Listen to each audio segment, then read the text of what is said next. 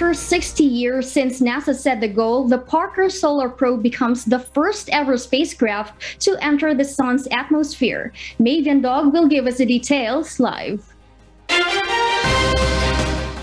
Good evening, Maeve. Please go ahead.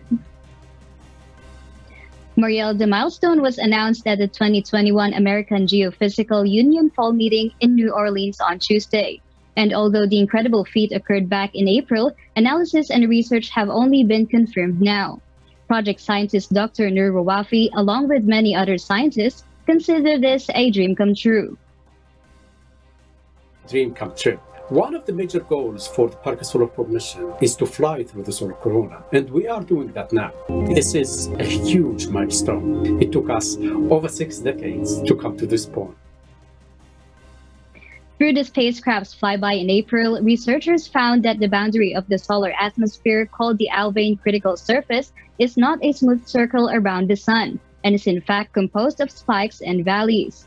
Parker made another fascinating encounter as it passed through a feature called pseudostreamer, which is a large structure rising above the surface of the sun and has been observed from Earth during solar eclipses.